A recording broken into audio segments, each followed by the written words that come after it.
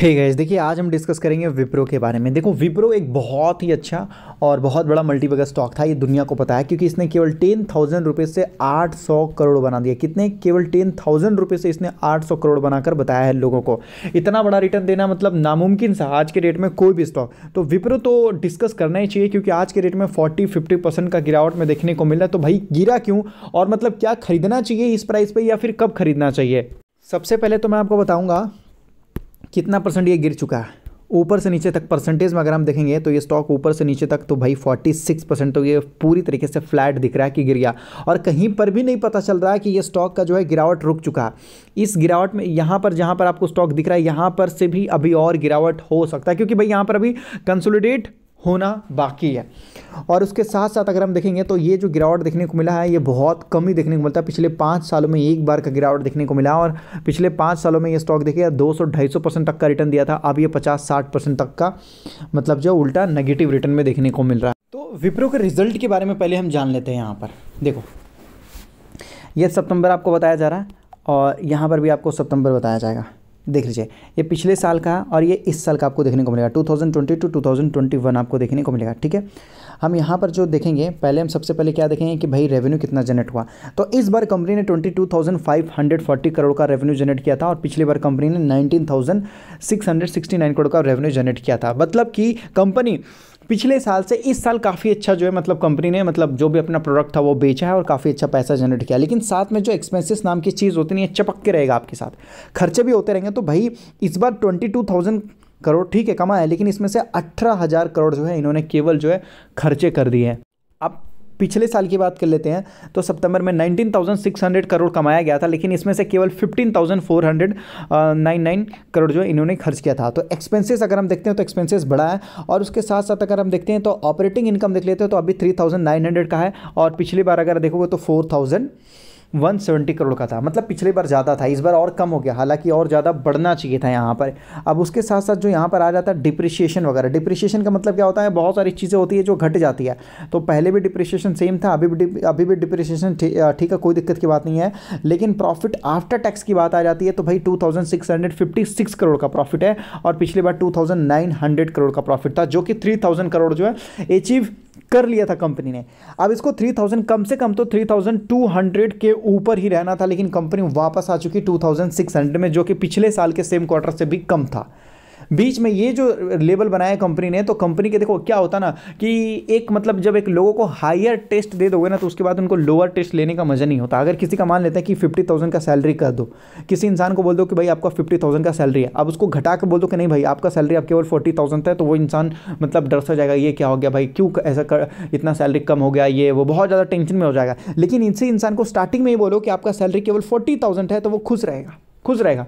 तो यही चीज़ होती है क्या कि पहले आपने हायर टेस्ट दे दिया ना मतलब जो एस्टिमेट किया जाता है इंसान क्या कर लेता है कि भाई अगर मैं पचास हज़ार कमाऊँगा तो इतना खर्च करूँगा इतना वहाँ दूँगा इतना सेविंग करूँगा इतना इन्वेस्ट करूँगा तो पहले से दिमाग काम कर लेता है उसके हिसाब से कैलकुलेशन होता। है लेकिन जब इन, जब उसका इनकम ही कम हो जाता है तो सारी जगह पर जहाँ जहाँ वो अपना प्लान कर रखा था सारा प्लान उनको कैंसिल करना पड़ता है। और फ्यूचर में जो प्लान बनाया जाता है उसमें भी थोड़ा बहुत मतलब क्या होता है कि डर सा होता है। और इसी वजह से देखोगे तो भाई इस बार पैसा कंपनी ने कम कमाया है। और साथ में अगर बात करते हैं ई अर्निंग पर शेयर की बात करते हैं, ये है अर्निंग पर शेयर तो पिछले बार कंपनी का अर्निंग पर शेयर 5.35 था, जो कि स्टॉक हाई पे ही था।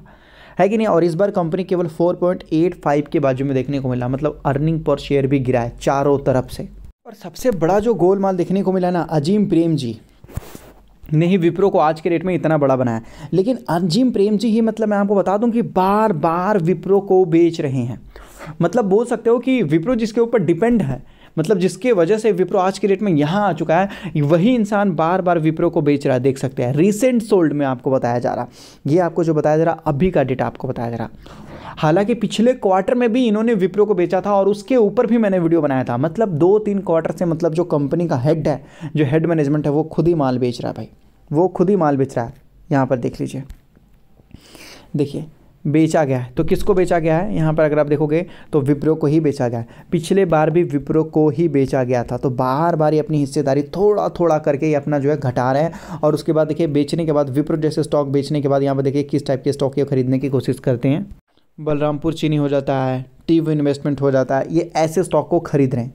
और ये पिछले क्वार्टर में भी इन्होंने बेचा था। उसका भी अगर आप चाहो तो हिस्ट्री अगर आप देखना चाहते हो तो वो भी आप यहाँ पर पता लगा सकते हैं। तो ये है हिस्ट्री यहाँ पर जाके देखने से आपको पता चल जाएगा, ये है हिस्ट्री आपको ढूंढना पड़ेगा और पता लगाना पड़ेगा आपको। देखिए, विप्रो का जो मार्केट कैप है वो कितना है? 2.1 लाख करोड़ लेकिन 1.5 लाख करोड़ से भी ज़्यादा अजीम प्रेम जी ने तो उनका खरीद के होल्ड कर रखा है शेयर्स को। इतना ज़्यादा। ठीक है? तो भाई सारा मतलब समझो कि कंपनी मतलब एक बड़े, क्या बोलते हैं मैनेजमेंट के ऊपर ही डिपेंड है। और उसके साथ साथ ये तो ठीक है, इन्होंने तो बेचा बेचा लेकिन साथ में फॉरेन वालों ने भी मतलब बहती गंगा में हाथ धो लिया यहाँ पर देखो। पिछले क्वार्टर और इस क्वार्टर से अगर आप चाहो तो मैच करना चाहते हो तो देख लो। यहाँ पर यहाँ पर।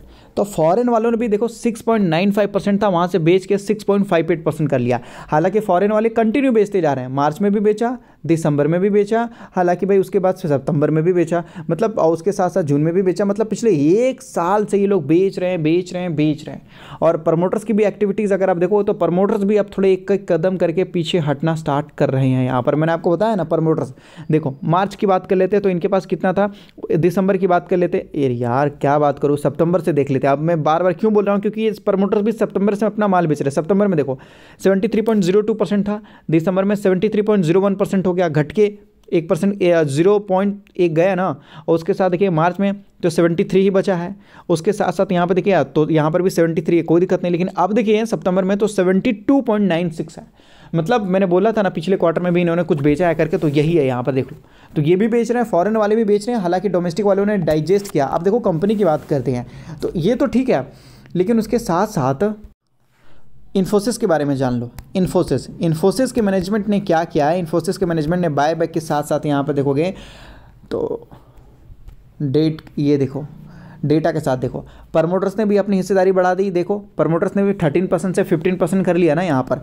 फॉरेन वालों ने देखो तो यहाँ पर भी थर्टी वन परसेंट से थर्टी सिक्स परसेंट यहाँ पर कर लिया है। और उसके साथ साथ अगर आप देखो तो डोमेस्टिक वालों ने भी यहाँ पर एटीन परसेंट से थर्टी टू परसेंट कर लिया। लेकिन विप्रो में किसी ने खरीदा क्या? प्रमोटर भी माल बेच रहे हैं फॉरन वाले भी माल बेच रहे हैं। हालाँकि फॉरन वाले मैं आपको बता दूँ कि एक इंपॉर्टेंट होता है क्योंकि बाहर से पैसा आता है ना, बाकी तो डोमेस्टिक वाले हैं और सारा माल खरीद कौन रहा है? पब्लिक तो इन्फोसिस में मैं आपको बोलूँगा थोड़ी बहुत सॉरी विप्रो में मैं आपको बोलूँगा थोड़ी बहुत वीकनेस है, थोड़ा टाइम लगेगा रिकवर होने में उसको।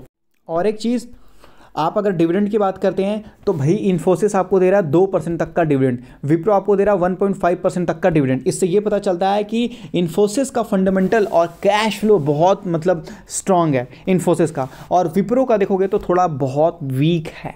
वीक है। मतलब इन दोनों को अगर आपस में कंपेयर करते हैं, एक दूसरे से देखते हैं कि कौन बेस्ट है तो इन्फोसिस इस लेवल पे बेस्ट दिख रहा है। हालाँकि इन्फोसिस में उतना ज़्यादा गिरावट भी नहीं हुआ सोच के इन्फोसिस में सबसे ज़्यादा विप्रो भी गिरा है।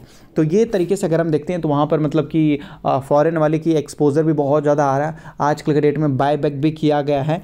तो आप देखो, आपको कौन सा बेटर लग रहा है? इस सिचुएशन में इन्फोसिस थोड़ा ठीक है, चारों तरफ़ से। विप्रो को भी अगर आप रखते हैं अगले आने वाले तीन सालों तक या पाँच सालों तक तो वो भी आपको बेटर रिटर्न देता हुआ नज़र आएगा। फिर वहाँ पर भी प्रमोटर्स अपनी हिस्सेदारी बढ़ाएँगे लेकिन अभी ती, पिछले तीन चार क्वार्टर से तो देख रहे हैं कि बेचा जा रहा है पिछले एक सालों से तो हो सकता है कि आपको एक दो साल रुकना पड़ जाए। और अगर आप स्टॉक मार्केट में नए हो तो अपना डिमेट अकाउंट एंजल में ओपन कर सकते हो जहाँ पर आपका डिमेट अकाउंट बिल्कुल फ्री डिलीवरी चार्जेस फ्री केवल ट्वेंटी रुपीज़ लगेगा वो भी इंट्रा डिमेट डिस्क्रिप्शन में लिंक है मिनटों में जाकर अपना डिमेट अकाउंट वगैरह ओपन कर सकते हैं बिल्कुल फ्री में।